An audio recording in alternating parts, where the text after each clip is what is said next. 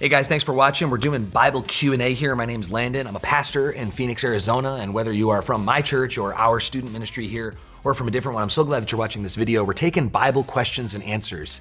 And um, I don't think I know everything, but I do think that God knows everything, and God has revealed an incredible amount of truth in the Bible that's accessible for us as we read it and as it is illuminated by His Spirit.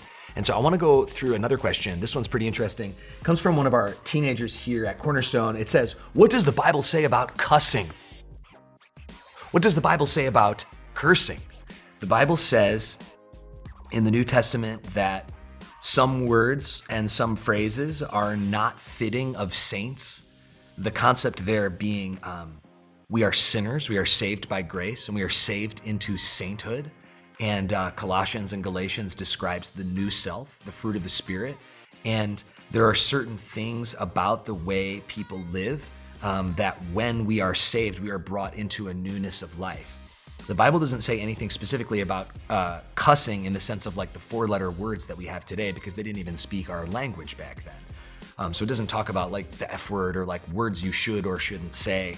Um, I think too much emphasis goes on that. I think a, a more of an emphasis is is um, is what you're saying loving, is what you're saying kind. You know, um, First Corinthians talks about what it means to be loving. It means to be patient, to be kind, not to envy, not to boast, not to be proud or rude, not to insist on your own way, not to get angry easily, not to keep a record of someone else's wrongdoing, um, not to delight in evil, but to rejoice in the truth. That uh, love always protects, love always trusts, love always hopes, love always perseveres. And I would say that those are better metrics for the words that you say. Are you being loving?